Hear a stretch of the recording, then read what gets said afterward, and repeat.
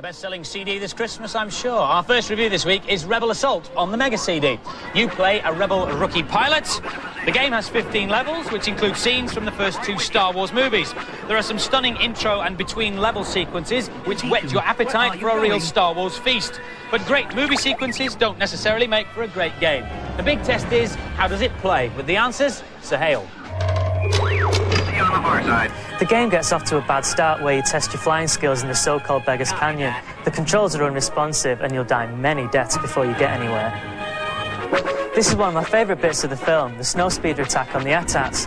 The graphics are quite good from afar, but when you get close to the AT-AT, you realise how poor they really are.